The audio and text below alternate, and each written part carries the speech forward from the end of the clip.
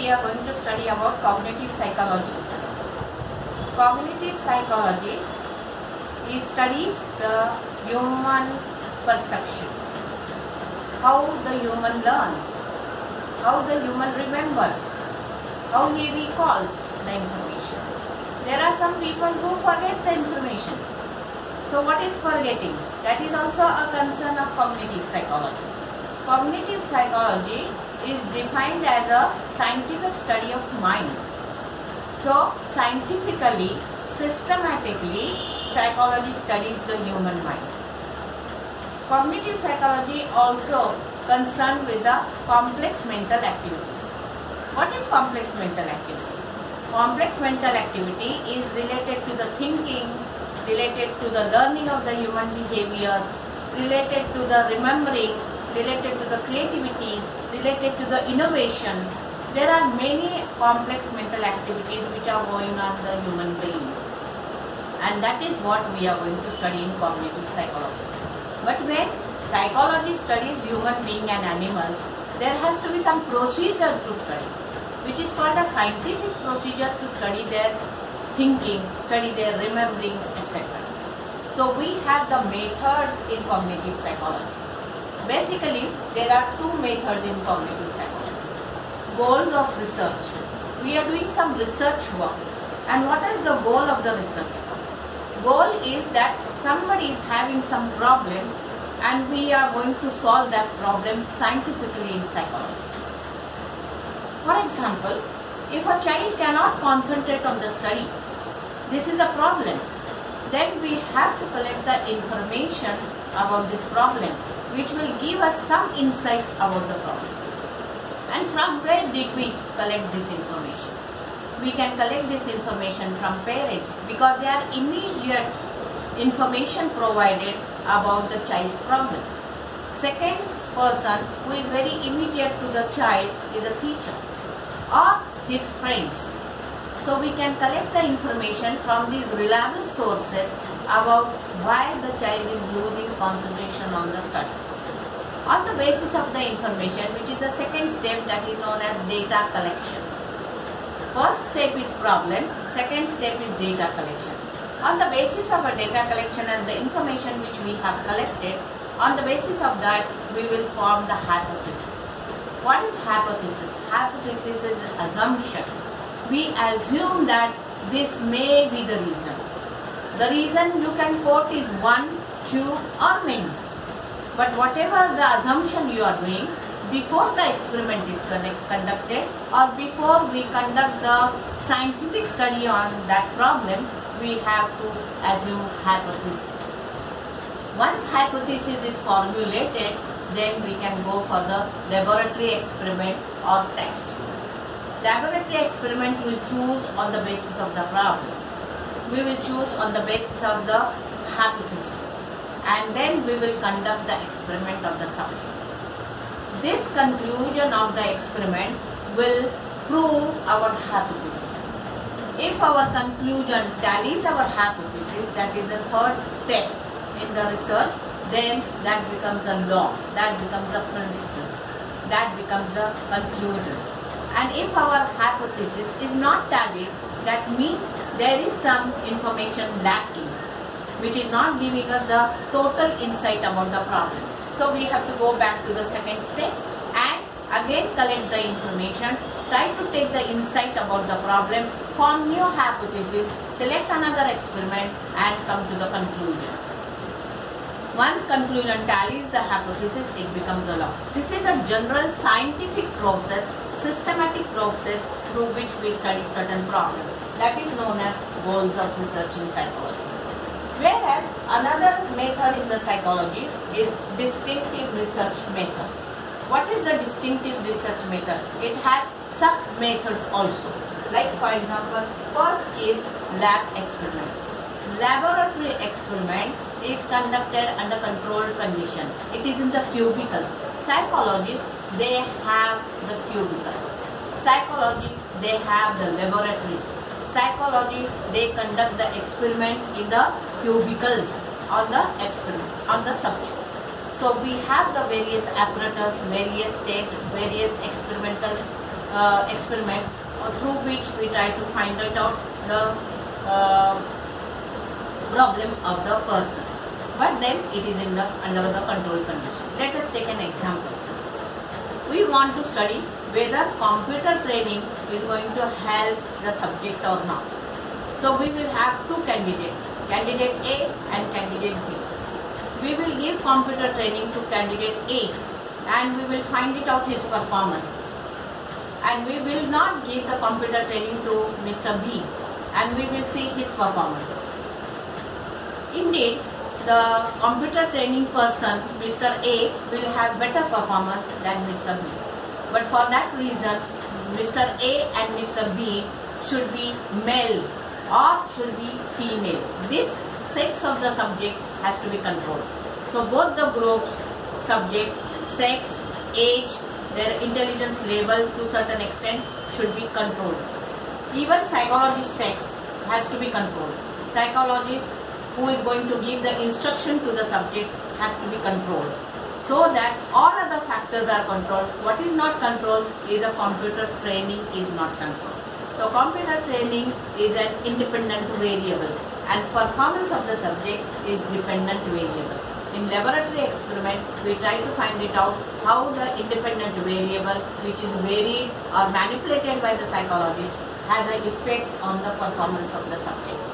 This is such type of an experiment is conducted in the laboratory where all other factors are controlled. What is not controlled is computer training is not controlled. And therefore, 100% we can say that the result is because of the computer training. Because of independent variable, dependent variable varies. These are known as laboratory experiment. Whereas second experiment is psychological and biological research in psychological and biological research how the mind works, how the mind is processed. Biology that is concerned about the sense organs. The information about the world comes to us through the eye, ear, nose, tongue, skin. And this information is processed to our brain through the biology. And then our thinking starts. This is psychology. So psychology is related to the biology.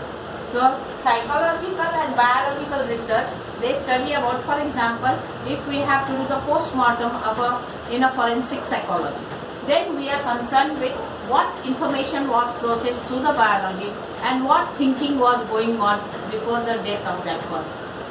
We can relate these two things and try to find it out the what is the process, thought process of, of the mind in psychological and biological research. Whereas the third or third method in cognitive psychology is a self-report technique. Now self-report technique is only applicable to the human being. Animals cannot do the self-report. What they are thinking, what they are feeling, what they are uh, memorizing, how they are reacting, how they are understanding the situation, etc. If we have to study, we have to ask question question to your own self that what I am thinking about this particular situation. Am I taking this situation positively or negatively? Ask question to yourself and your mind will tell you how you are reacting to this situation, how you are taking this situation. So that is known as self-report. Self means your own self is reporting about your own feelings, about your own understanding, about your own analyzing, about your own thinking, etc. And last computer simulation. Artificial intelligence is also very important. It exactly thinks the way the human thinks. So there is some similarity. Human thinking is processed in the encoded into the computer and computer also thinks on the line of the human. Such type of a study are known as computer simulation. Let us see what is the domain of cognitive psychology. Cognitive psychology studies the cognitive neuroscience.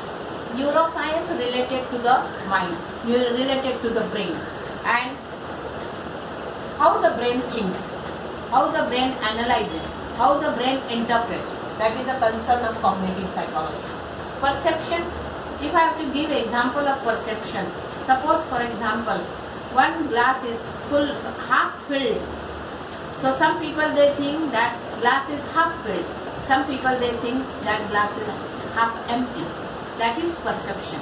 How people perceive the same thing differently. Thinking. Thinking is the process, thought processes. How the thinking goes. How a person reacts to the thinking. Then attention. Attention is a process of selection. We have many stimulus but we attend to some stimulus because of our interest, because of our desires, because of our motives, because of our needs. That is called attention. Representation of knowledge. Whatever the information we are taking, we are learning, we represent our knowledge in a positive way. Then consciousness. We are conscious. There are consciously we are learning certain things. Consciously we are representing certain things we are aware about many things at present situation also. Memory, whatever we are learning, we try to store it in our memory. Imagery, images and imagination is also a concern of cognitive psychology. Languages, there are many people they know how to learn the languages. Some people they speak Hindi well, some people they speak English well, some people they Gujarati and Tamil and foreign languages, Germans, French language, etc. So language, how people learn language, that is also a concern of cognitive psychology. Developmental psychology is concerned about the developmental stages right from the conception till the old age. There are many stages are coming like babyhood, then childhood, adolescent age, adulthood and then old age. All this is developmental psychology. That is also a concern of cognitive psychology. Pattern recognition. What type of a pattern we have and how do we recognize that pattern? For example, circle, rectangle, square. These patterns are learned and recognized, memorized, etc. Human intelligence, artificial intelligence, that is also very closely related to the psychology. That is all domain of psychology. But suppose if we have to see the history of cognitive psychology, then we have to go back to the 18th century. In 18th century, people thought about the early thoughts on cognitive psychology, early thoughts of thinking. Previously, it is also known as school of psychology. In that school of psychology, how the person learns, how he thinks about the situation. So there were two ways. One is a person learned from the nature, experiences, early experiences. And another thing is that nurture, that is a person is a, has an innate ability to think. That is was the early thought. But in after some years, in people started thinking in a different way. The advanced thinking came in psychology saying that the only nature and nurture is not important but even the sense organs are important. How do we see the thing? How do we hear the uh, sounds? How do we feel the object? And how do we remember the object? All these sense organs, five sense organs, eye, ear, nose, tongue, skin, these are very important organs to process the environmental information to the brain and how it is analyzed, how it is processed further. That was the thought came and that was another school of psychology which is concerned about the information coming through the sense organs. But in 20th century, some people they thought that this is not enough. It is stimulus response process is very important. Stimulus is coming in a two ways. Either internal stimulus or either it is external stimulus. What is internal stimulus? Internal stimulus, for example, a person is feeling hungry. Hunger is a biological internal stimulus. So person will not keep quiet. He will start searching for the food. That is a response coming from the human being. The stimulus came, that's why response came. So there is a relationship between S and R. Stimulus response process. Sometimes the stimulus comes from external environment. For example, somebody says something and what do we think? Do we take it, oh, it's a friendly talk? Or do we take it, oh my god, this person has insulted me? then the thinking and response to a two different way will come in a different angle. If I am thinking that oh he said friendly, I will not mind it.